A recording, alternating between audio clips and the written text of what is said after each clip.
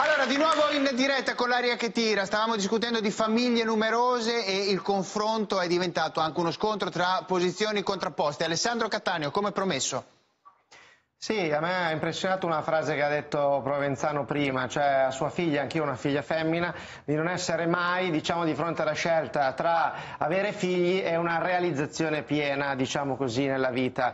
Io credo che noi culturalmente non stiamo passando più il messaggio che avere figli è la più grande realizzazione piena della vita. Ma lo decideranno loro, noi non- lo decideranno No, le è donne, vero, non lo eh, deciderà eh, lei. Un momento, eh, vede, un momento. Voi, voi Allora, a forza di relativizzare avete portato a questo, che voi spacciate per progresso quello che non è più progresso, ma è una deformazione della stessa natura dell'uomo. io ne ho fatti Voi- due, guardi, non so lei. Evitiamo, evitiamo E- di buttare in politica. Chiara e Seraceno, parliamo di politica e la politica è